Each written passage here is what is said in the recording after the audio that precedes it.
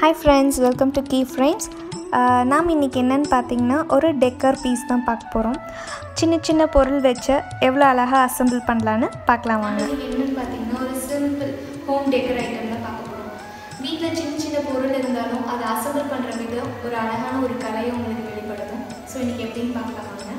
First ஒரு stool எடுத்துக்கலாம். அப்புறம் ஒரு தண்ணி பிடிச்சி வச்சுக்கோங்க.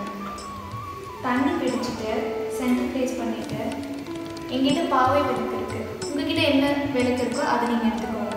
உள்ளே இருந்ததுன்னா அடியில் ஒரு கப்போ இல்லை ஒரு டிஞ்சிக் அந்த மாதிரி ஏதாவது ஒரு பொருள் வச்சு அது மேலே வைங்க. உங்களுக்கு மேலால இருக்கும். ஸோ எனக்கு கீழே இது இருக்கங்காட்டி நான் எதுவுமே அப்ளை பண்ணல. டேரெக்டாக அப்ளை பண்ணிக்கிறேன்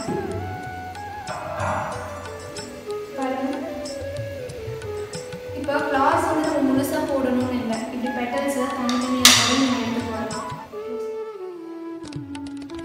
இப்படி பெட்டல்ஸை நல்லா உதிரி போட்டு விட்டுட்டு நல்லா எல்லா பக்கமும் ஈவனாக ஸ்ப்ரெட் ஆகுற மாதிரி பார்த்துக்கோங்க. பாருங்கள் நான் ஆயில் டீ கேண்டில்ஸ் மற்ற ஐட்டம்ஸ் எல்லாம் ரெடி பண்ணிட்டேன். இனி மேலே விளக்கேற்றிட்டு கீழே டீ கேண்டில்ஸ் எல்லாம் நம்ம அப்ளை பண்ணிக்கலாம். நான் ஏன் இந்த மாதிரி கேண்டில்ஸ் எடுத்தேன்னா உங்களுக்கு வாட்டரில் போடுறப்போ அந்த ஃப்ளார்ஸோட ஒன்றா அழகாக ஃப்ளோட் ஆகிட்டு இருக்கும்.